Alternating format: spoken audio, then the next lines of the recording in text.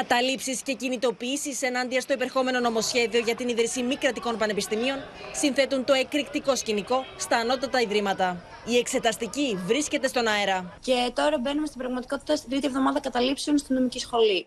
Αν αυτό το νομοσχέδιο δεν ερχόταν στην εξεταστική περίοδο και εμείς προφανώς δεν θα θέλαμε να ε, χάσουμε ή να καθυστερήσουμε με κάποιο τρόπο την εξεταστική μας. Δεν έχει σημασία να πάρουμε ένα πτυχίο το οποίο την επόμενη μέρα δεν θα έχει κάποια αξία. Η σύγκλιτο του Πανεπιστημίου Πατρών αποφάσισε να μην γίνουν διαδικτυακές εξετάσεις για τα μαθήματα του χειμερινού εξαμήνου, με την αιτιολογία ότι δεν διασφαλίζεται το αδιάβλητο.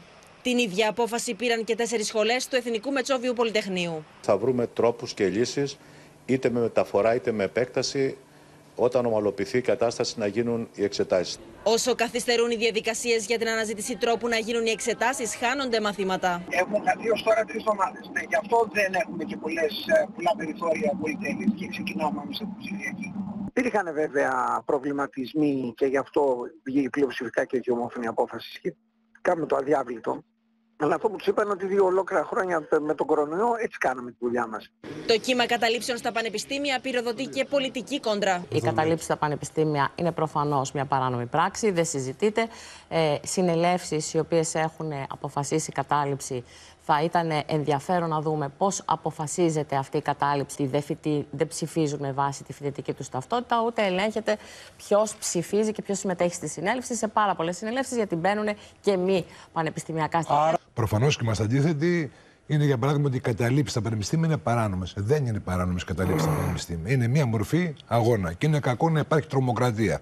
Απλά επειδή η κυβέρνηση συνηθίζει τις τελευταίες μέρες να τις χαρακτηρίζει παράνομες στα πανεπιστήμια, επίσης υπάρχει ένας τρόπος να το λύσει. Αν θεωρεί ότι κάτι είναι εκτός νόμου, μπορεί να παρέμβει η πανεπιστημιακή αστυνομία. Για, για την υποκρισία το λέω σε μια σειρά από ζητήματα που βιώνουμε. την καταλάβαμε. Η κατάληψη και συνολικά οι πορείες, οι διεκδικήσεις είναι τρόποι διαμαρτυρίας, είναι τρόποι ε, έκφρασης και αλίμον αν φτάσουμε να ποινικοποιούμε αυτούς τους τρόπους και αλίμον αν φτάσουμε να στοχοποιούμε τους φοιτητές, τους μαθητές, τη νέα γενιά.